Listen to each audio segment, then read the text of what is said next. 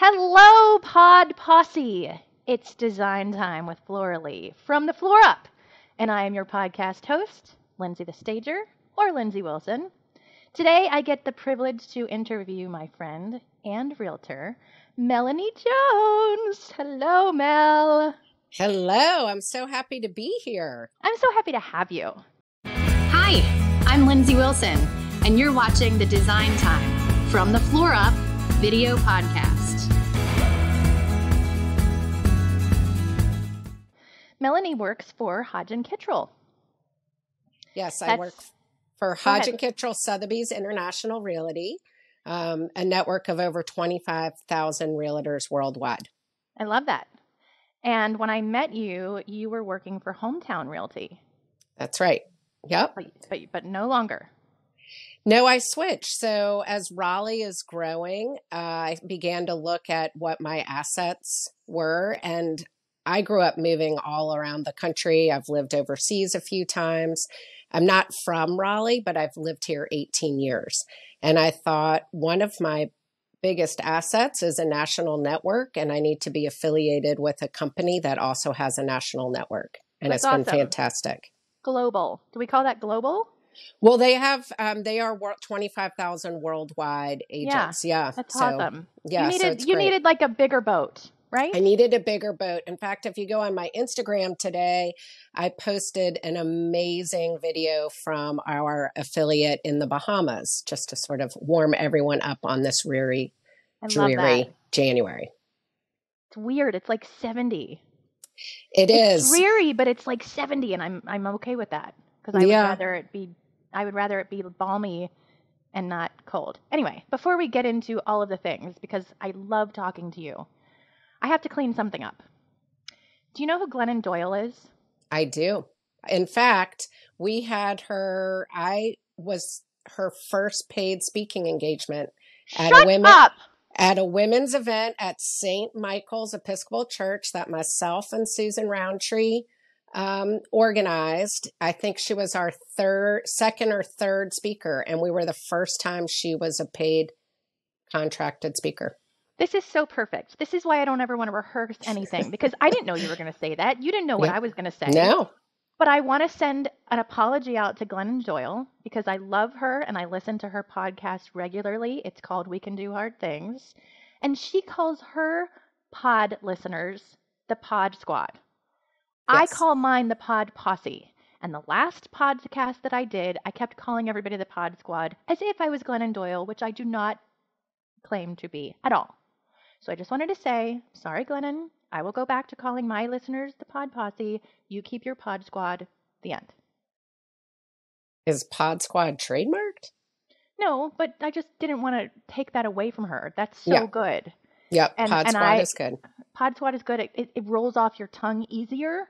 So I have to like put up a place, like a sign that says posse. Say posse, Lindsay, not squad. Well, before there were podcasts, there were blogs, right? So everything, Right. and she did Momastery, and her group was called the Monkees. Um, and I mean, our event sold out in 90 minutes, I think. Yep. Wow. Yep. She's we reached. so awesome. Yep. hmm And I know this because when I was living in Australia and pregnant with Daisy, I had a blog. It was called The Pregnant Pause, and I called my readers my bloggies. So I I'm love it. Well, I used to be a blogger myself too. I'd had one titled Not Your Preacher's Wife. I love So- that. Why would you have it titled that, Mel? Well, because I am married to a minister, and when I tell people that, when once they pick their jaw up off the floor, they say, "You don't, you don't really strike me as a preacher's wife." So I love that.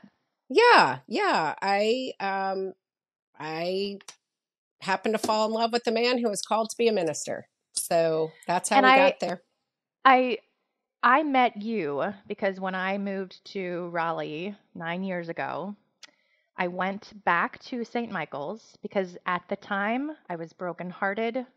My life was at a sunken cul-de-sac of a place. It was bad, and I needed something to believe in. And I went back to the church that my grandparents helped build, and lo and freaking behold, there's your husband, Greg Jones, telling me in a humorous sermon everything that I always needed to hear on the Sunday, sitting next to my dad.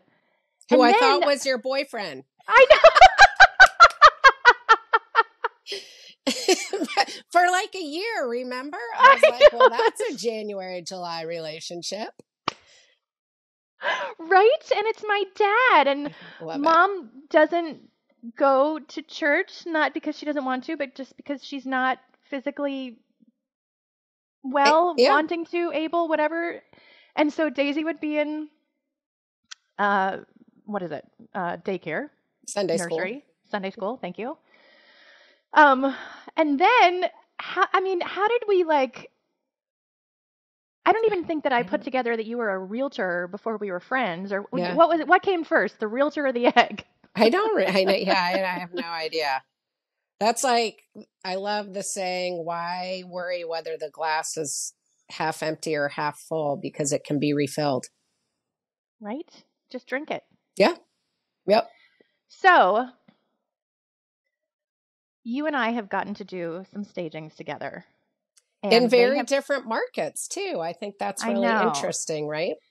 Well, that's what I want you to talk about today because for once I'm going to listen and not cut you off, but I want to hear today from you, the realtor, not the stager, nothing to do with design, but I want to know, Mel, what's going on? Tell me what we can all expect in 2023's market.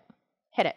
in in the triangle i will speak to that because that's where i'm i'm feel i'm the you know an expert we are a growth market just yesterday the national association of realtors said that raleigh is the third fastest growing city in the country so what does that mean for real estate that means it's not being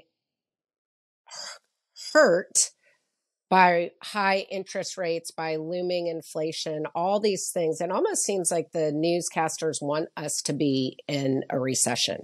You know, you hear this all the time. Here's the deal with real estate we have 65 people a day moving to the triangle area they all need a place to live i mean you can't you can't drive down a road where an apartment building isn't going up I So, know. the the money it takes to build an apartment building isn't pocket change. There are investors around the country and around the world that are putting money into our area. And what that means is they've done a lot more research than I could ever do to say, wow, this place is only getting bigger, bigger, and bigger. So, what that means for our real estate market as individuals or as professionals is that we have high demand. We still have a shortage of inventory, which means prices are holding pretty heavy. We are not seeing the craziness of the last spring market where there were sight unseen offers, $100,000 deposits that were non refundable, 25 exactly people competing. that I just put up. Yeah, it's it's that's over. that is over. Having said that, it's I've heard it labeled a tornado market a little bit, which I really like because when a tornado goes through a neighborhood, tragically, some people lose everything and the house right next door is totally fine.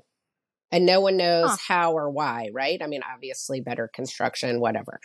But the same thing holds true in trying to sell your house. Why did the neighbor's house have 85 showings and three offers and sell in a day, and yours is sitting on the market?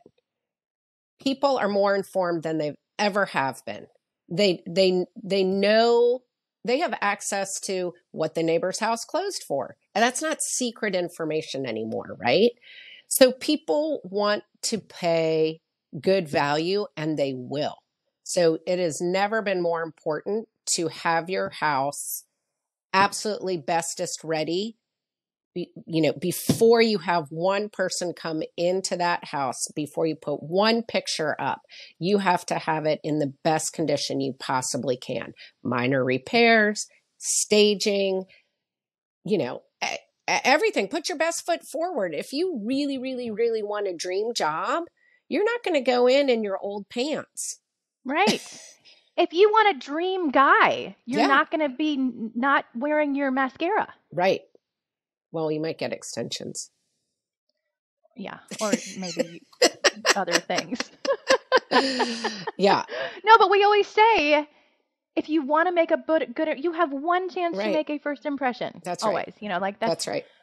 But let's talk about because what do you think? uh, Well, first of all, I want to say how grateful are we that we work in this industry?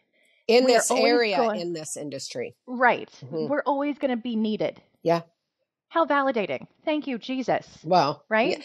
And I will say in the spring market, it was very hard to guide my clients to making the right decision. I mean, we were making some of these crazy offers.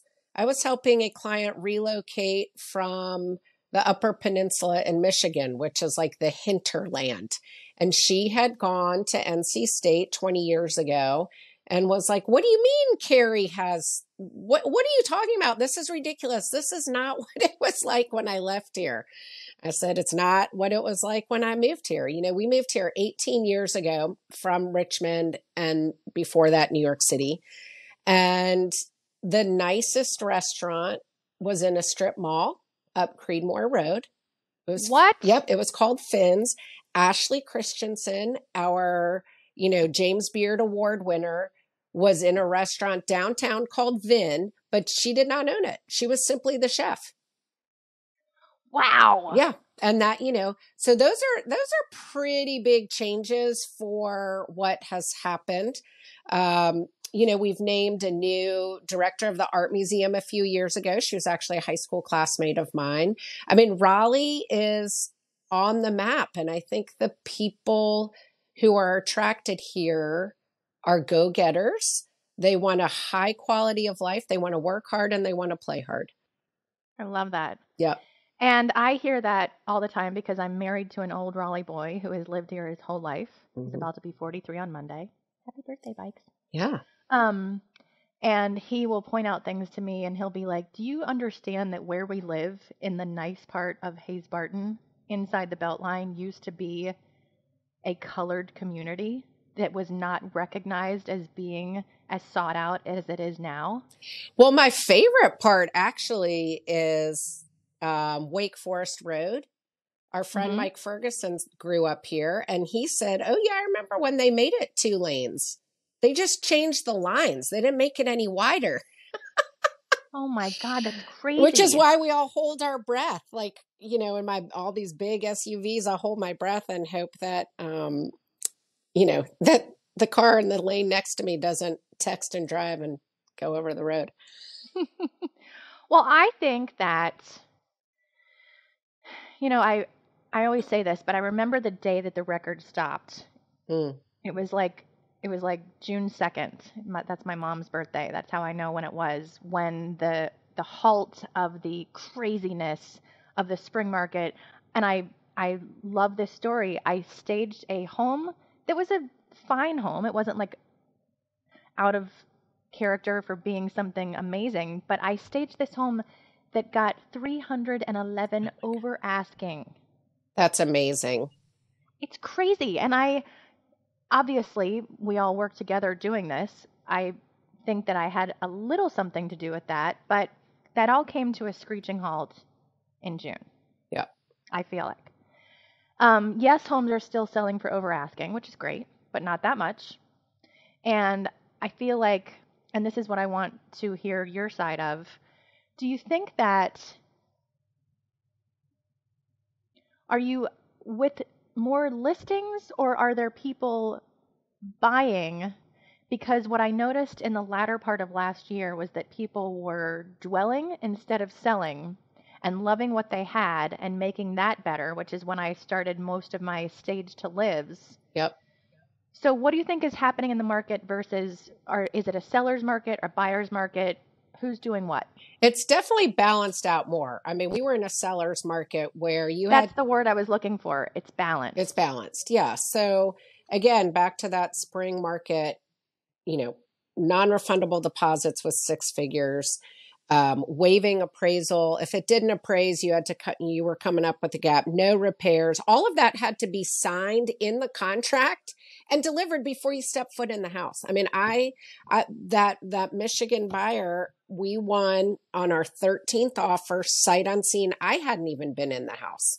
Oh my God. Well, That's crazy. well over asking price. And again, what happens in real estate is that you know, we sell this house for a hundred th- or buy this house for a hundred thousand over asking. And then the neighbor goes, Well, I didn't think I wanted to move, but I bought this house 10 years ago. I could walk away with a lot that. of proceeds. Yeah. Like Yeah. life changing money, right? Downsize Yeah. or buy my beach house. And then, of course, we have the pandemic and you didn't have to go to your office, you know, eight to eight to six every day we realized we actually can work from home. We are relative adults and can be disciplined. And so people said, you know what? I'm going to have an apartment in Raleigh and I'm going to move to my beach house. So you saw that a little bit. I'd like to see that a little more. Again, our biggest problem is inventory.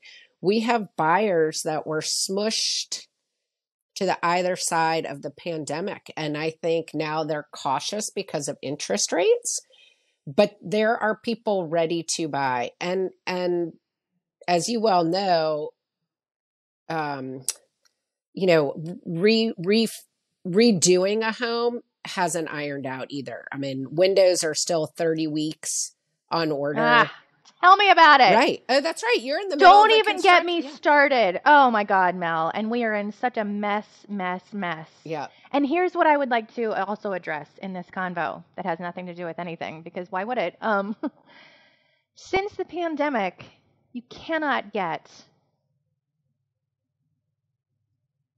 over asking your half-assedness, Right. half-assedness. Well, people are The re- smart. I mean, you know, Z- Zillow, which is a bane of realtors' existence, provided information to people. The way people buy a house, right? When my parents were buying a house, their realtor picked them up. And in fact, there wasn't even buyer's agents. There were only listing agents. And the listing agent would show the buyer house a house and be like, you want it? You would have to go to the agency in a notebook right? Like the, an infamous notebook, and they'd say, These are the homes you can buy. That, you know, I don't even know when buyer's agents came into being. I've, I've been a realtor for eight years, but it's not that long ago. And so I used to say, Gosh, all you needed was, you know, you needed, um, a pack of cigarettes and and a car and that's that's what realtors used to do so Right? and now and i think it's great can- I, And now you can buy a house online because you can shop when you have insomnia because of your move at two o'clock in the That's morning. That's right. And I think and I think that's helpful. I think eh, having everybody be educated on the facts makes everybody better before the deal even starts. I don't want a surprise in the middle of the deal. I want people now that doesn't mean people don't say I don't care I want it they fall in love with the house and they pay what no one else will pay. So my t- my tagline is a home is your nest and your nest egg and they have to be in balance. I mean you're spending every single day there. I spend more money on my bed than on my car, right? Right. Because uh, sleep is super important. I want it to be really really really really good. And I'm spending 8 Yeah. hours a day there. Right. Well, I wish I were. I have insomnia now.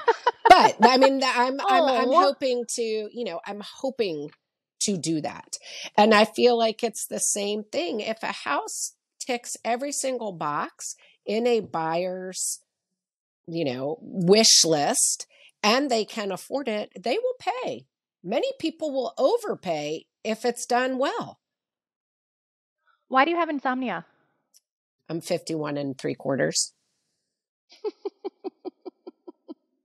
I um I you know this job too. This job is because you're tur- because you're an Aries like me, right? And you're turning 52 in April, and I'm turning 48. Yeah. And holy moly, Yep.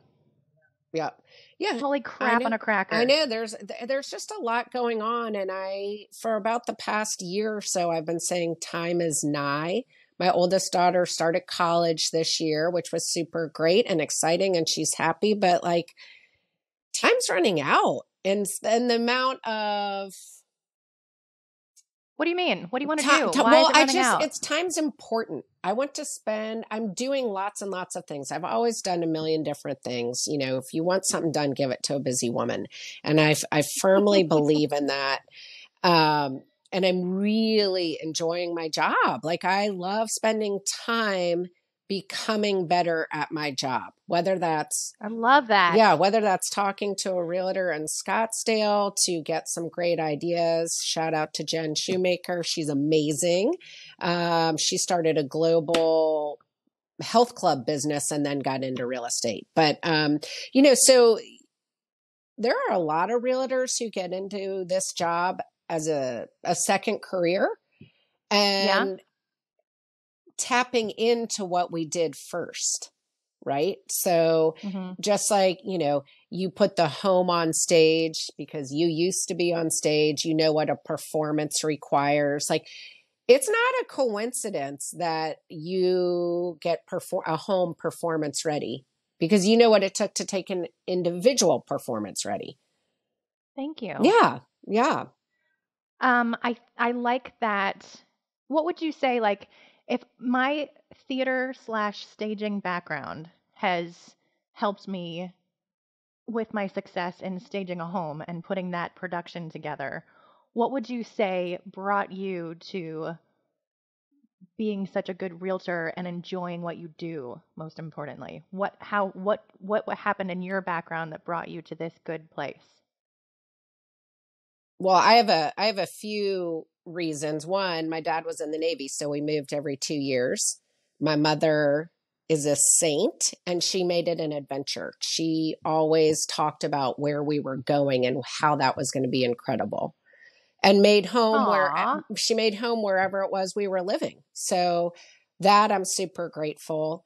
Um, again i was always the new kid who had to walk in the room and say hey i'm melanie and and and make a friend fast because i was only Yeah. going to be there for two years Oh, yeah so um So, what are you saying? That you like to help these new people create the home and make it an adventure like your mom taught you? i get to know people quickly that's what i'm saying and then i can help them achieve whatever it is they want Right. But it's because of you and your sparkly personality that they can trust you and that you make it fun. Because we wouldn't be talking if you if I didn't trust you or if I didn't think that you were fun. yeah and then you know and thirdly i was a college athlete and you know i think it's really funny i'm still talking about that it's my 30th college reunion but you got to do the You can always talk about it. You will Yeah. always be a college that's athlete, right Mel. that's right and so the preparation it takes you know i people my i've coached a million teams and i always say um you know everyone loves to say there is no i in team and i say but there is in win and so Ugh. and the reason what Ah. I mean is that every person involved in the transaction really needs to do their absolute best in order to create a strong team. The one I start e, That's it. That's the nugget. There is an I in win. Mhm. That's what I'm that's what I'm taking away with me today. All right, bye. Thanks for coming. yeah. We can just, you know, cut That's right. cut the interview right there. That's all I needed to hear. Yep. But that's so good. I love that. Yeah. I'm sorry that I cut you off. Keep going. With the win. No, um, yeah, I just I I think it's really important. I say to everybody at the beginning of a transaction too, you know, we're on the we're all on the same team trying to transfer ownership of of of a home from the seller to the buyer. And we really need to keep that in mind because inevitably things come up, whether it's a financing issue or a job change or, you know, some problem in the house that needs fixing that no one had any idea um, that occurred. Um, and there's all there's always a solution. There's always a solution. Sometimes that means dissolving, but I have only had one one deal fall through. What do you mean? I've only had one deal in my career that did not make it to the closing table. Why not? Why not? The buyer backed out after giving us $40,000.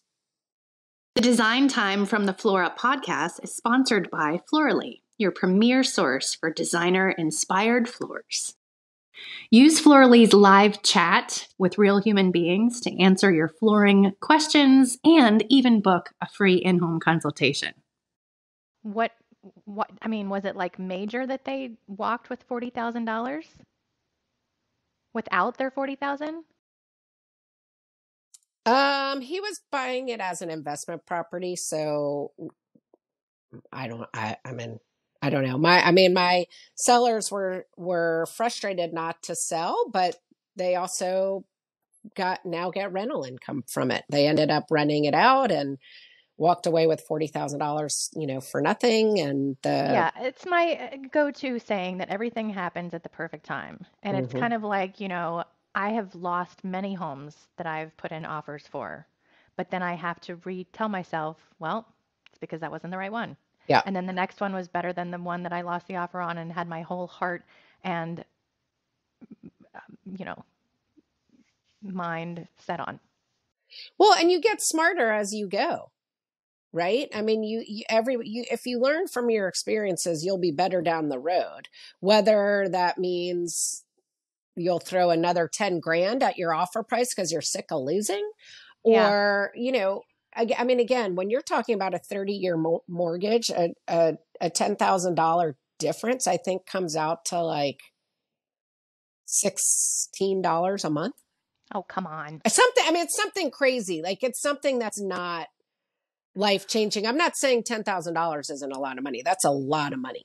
No, I know, no, no, no, no. But over a I- 30 you- right uh, right. Over a 30 year mortgage Oprah like, okay, says, Oprah says, when you know better, you do better. right. Yep So, yesterday I was at the Glenwood Teeter, and you know you're always going to run into somebody there. And I ran into um, a realtor friend, and uh, she's never used me for staging. And she's a friend of mine. And that's because, you know, like she even said in our five minute, that's where I ran into you a couple yeah that's right weeks ago that's right you run into everybody there. Um, she in our like five minute or less conversation, she was like, you know, are you still staging? I do it myself. That's what I'm bringing into this. So Mel, I noticed in your background of a living room that you have really good flanking lamps. They're orange, which is a very bold, brave color. I love that you've brought that in. It's my favorite color. Oranges? Yes. I love that. My best friend Salem, that's her favorite color too. She was the dance captain at Beauty and the Beast. Anyway, um, why do you hire a stager? Because it looks like you have good taste and it looks like you sure know how to pull a room together to make it photo ready. Well, thank you. Um, You're welcome. taste is subjective, though. So, I mean, I have lavender walls and an orange, Ooh. you know, flanking lamps, and I'm getting ready to get some tiger pillows if they ever get finished. I mean, what I like isn't what every what I like is not what everybody likes, and we're not we are not in the business of making a magazine. We're in the business of selling a house. We are so there's a difference. neutral, which means there's a difference between right there's a difference between living and selling it's the same with repairs right i mean nobody lives the way they sell Okay, fine. But knowing that, you know Mhm. the difference. You're not going to bring in orange lamps and tiger pillows. Okay. So why don't you just do it yourself and bring in neutral pillows and white lamps? well it goes back to the there is no i in team but there is in win so i want i want all of my i could t- i'm a photographer essentially Yeah, you are. i mean i Yeah. could take all my own photos too. You know I, I i don't believe in that. I i believe that i hire experts who know what they're doing who do staging in you know day in day out who do measuring day in day out who do photography day in day out. I use a marketing department. I want i want the best in the business to be taking care of each part of my transaction so that my clients get the best results The end. Good. So, Yeah. um, Yep. and with that being said, I can also say there's a little good, well, there's a little good cop, bad cop too, in the sense of I can, I, I mean, I do see some clients going like, oh God, oh God, oh God, it's too much, it's too much, it's too much. And so being able to go through and say, well, if you want to put your absolute best foot forward, these are the 94 things that you should do. you know, and, and, be able to help them through their to do list.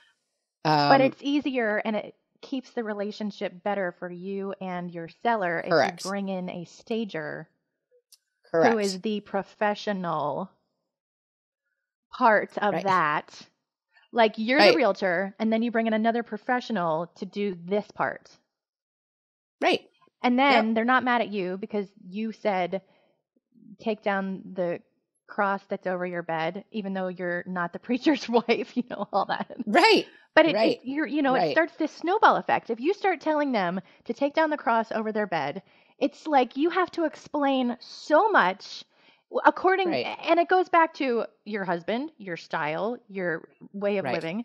Whereas if a stager says we need to cater to the Muslims and Jews, then that's much more understood. It's much better well, we don't even have to talk religion. I mean, in here, if you have, you know, an NC State Wolfpack oh my God. up and a Tar Heel wants to buy the house, I mean, deal breaker. I've had, I'm deal breaker. Yeah. So I, I've removed, I've removed grill covers. Yeah. I've even hidden, um, you know, bottle openers in the drawer. Yeah because um, buyers will open that. I mean, it sounds funny, but again, part of it's an emotional decision.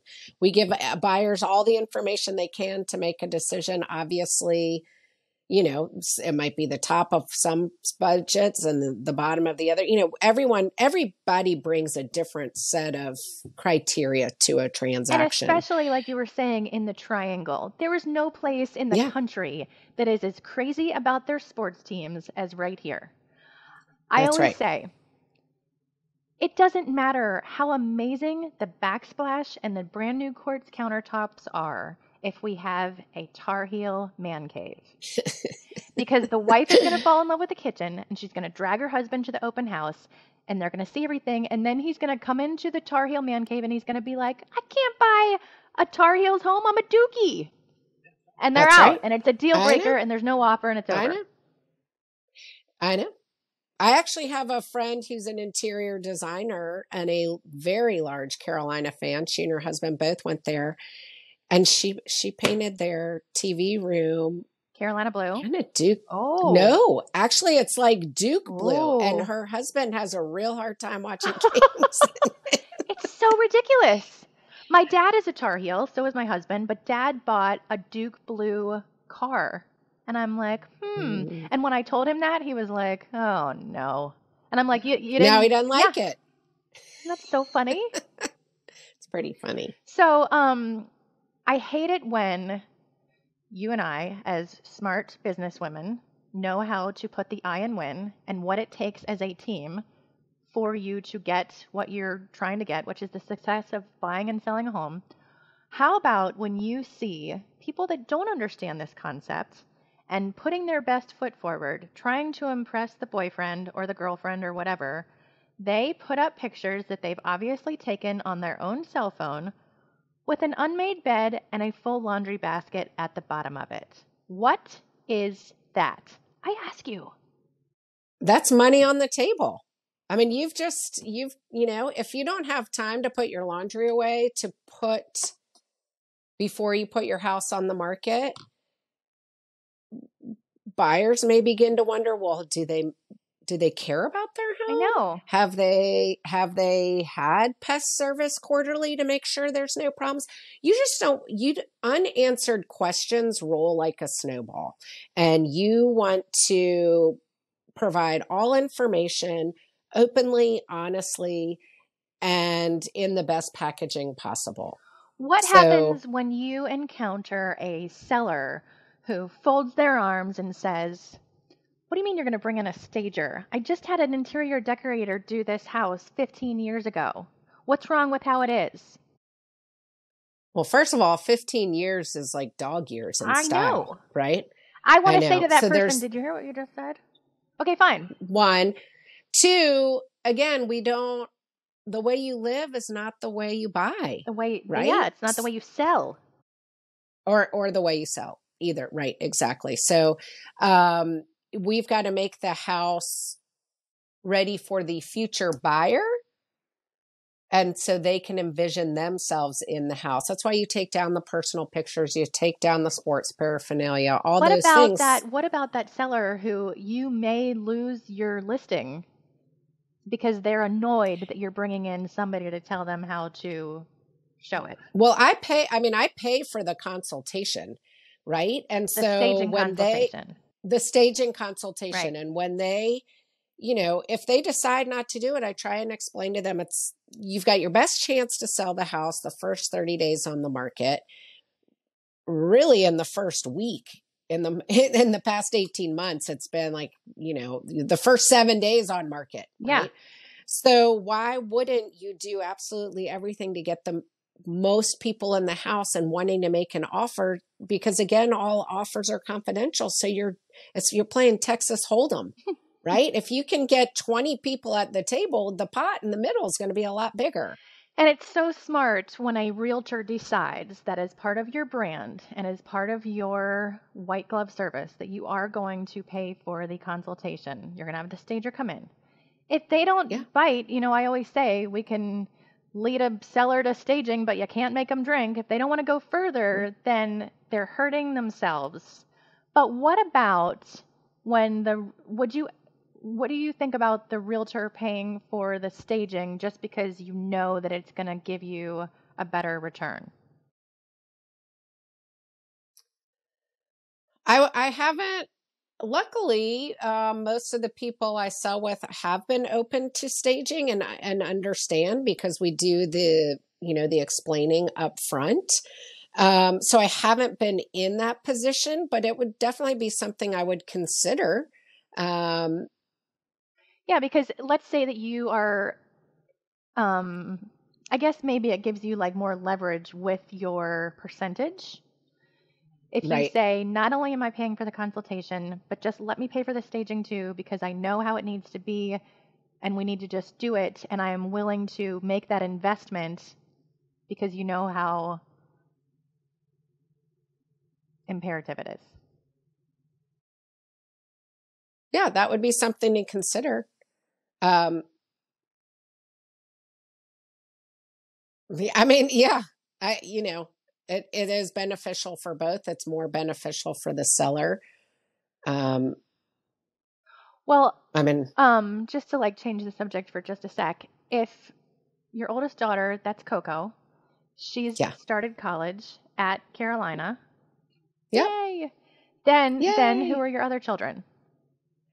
I have a 17 year old daughter, Anna, who's a junior um, in high school, and Cheney is a freshman in high school. Oh my god. I know it's crazy. I'm looking at you and you're so cute and I can't believe first of all that you're about to be 53, but I can't believe that you have three mature older Crazy. daughters. What? I know it's I know it's crazy. Because yeah, me- Cheney did driver's ed over Christmas break. My god. Where's that name Cheney from? It is from it's a family name um, from actually Cheyney, Pennsylvania. Oh, that's so cute. Yeah, small town. Yep, exactly. Yeah, yeah, yeah, yeah. So, what's it like a day in your life with the realtor aspect? Like, what are you doing? Are you like writing thank you notes on Tuesday? Are you like driving around on Wednesday? How does it go? What do you do? Well, I really um I wake up and I say my gratitudes. Um, you know, grateful to be alive for another day, grateful for my job, my health, my family. That's Um good. I Everybody should do yeah. that yeah, it's great before my heat feet before my feet hit the floor. before your heat. Um so yeah, be- be- before I fired up for the day.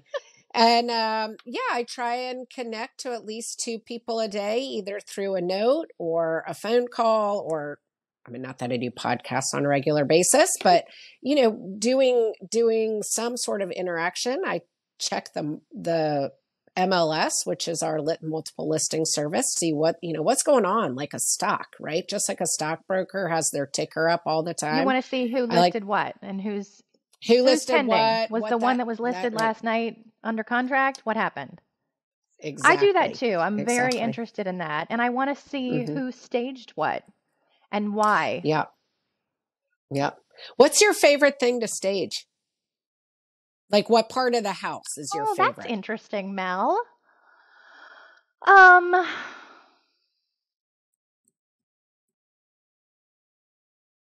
you've stumped me. I'm, I'm Oh. thinking about all the places. Um, I thought you were going to say bookshelves. Oh, I do love you're me good a at that. Thank you.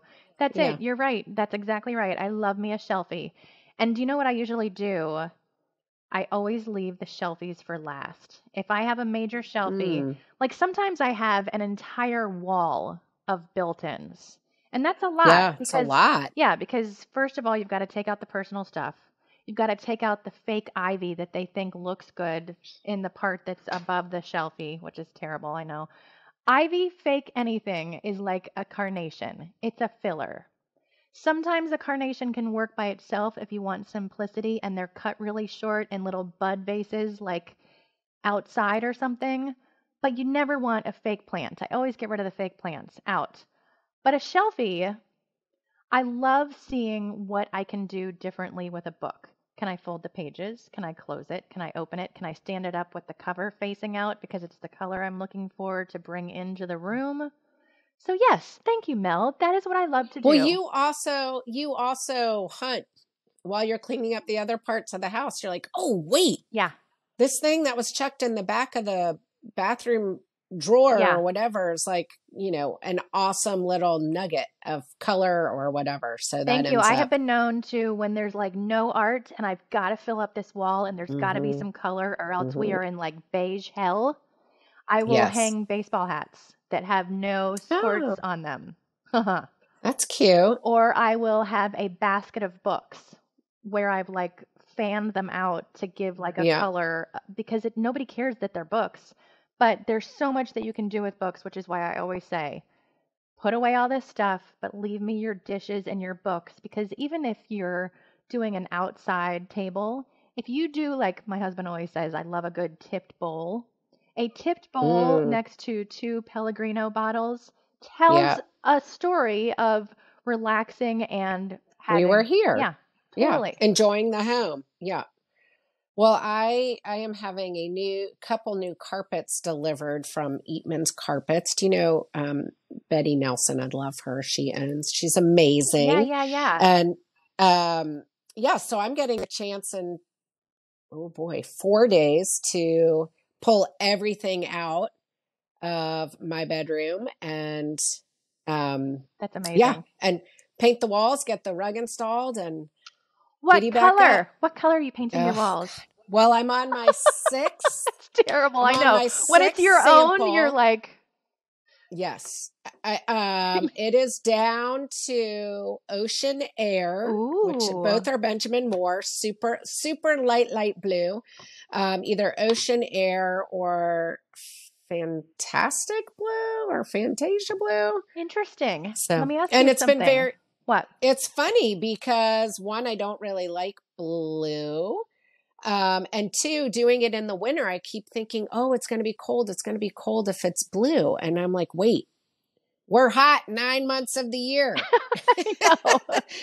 so, and also, um, cool just- tones are the new in colors, whatever one you choose. I know. oh, good. I know. Well, that was sort of um, shameless um, free help. Well, I like by- to go. if, if somebody tells me what the trends are going to be, then I want to say, okay, but if cool tones are in, I want to warm it up in a way. I want to Yep. do this. yeah. Um, did you ever have a look at sea salt? Because you know I love sea salt in a master bath. I I do love sea salt. It doesn't work with the rug. There's a little too much green in it. Good. What color is the rug? Or the rug or the carpet? Carpet. Carpet. It um it is a cream with blue and gray. Did you get a texture? swirls. Did you get a texture in it, or is it like a? I got some texture. and I, I will give a plug for Eatman's Carpets too. They are a fantastic resource, and they also have some in stock rolls, which make oh, cu- which make custom. This is a custom rug because I have a funky layout on my floor. Um, you know, slightly more affordable. that's So, awesome. Yeah. What a good little tip and what a good little shout out. Yeah. Guess what? Yeah. What? That's all the time we have. It's over. Well, this has been so fun. I could talk. The last podcast I did, they ended up doing two because I talked so much. They split me. I love that. I, Yeah. you know, you and I had so much fun that day that we were together for like six hours because we Oh had God. two homes in a row. We drove all the way out to East. Cha- Chapel yeah, Hill. Chapel Hill. That was so yeah. fun.